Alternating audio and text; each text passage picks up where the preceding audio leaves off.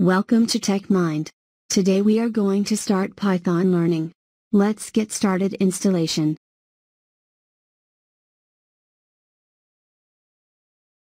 Thonny Python IDE for beginners.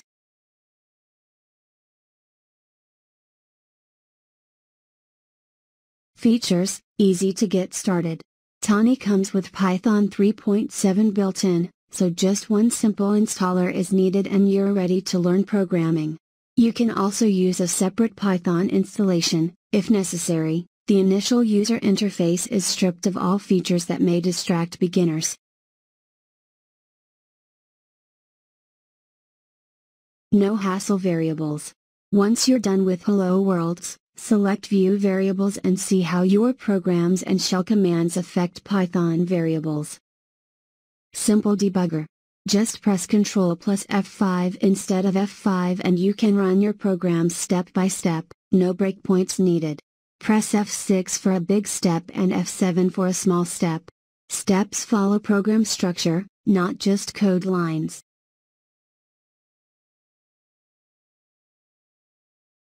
Faithful representation of function calls. Stepping into a function call opens a new window with separate local variables table and code pointer. Good understanding of how function calls work is especially important for understanding recursion. Highlight syntax errors. Unclose quotes and parentheses are the most common beginner's syntax errors. Thonny's editor makes these easy to spot.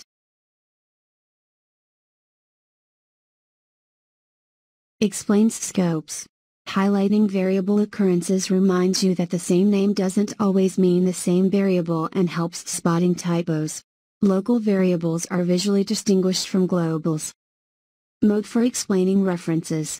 Variables are initially presented according to simplified model, name value, but you can switch to more realistic model, name address ID value.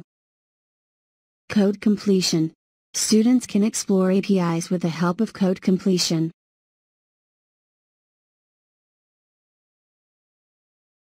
Beginner-friendly System Shell. Select Tools Open System Shell to install extra packages or learn handling Python on command line. Path and conflicts with other Python interpreters are taken care of by Thonny. Simple and clean pip GUI. Select Tools Manage Packages for even easier installation of third-party packages. Thanks for watching. If you're new to this channel, make sure to subscribe like and share.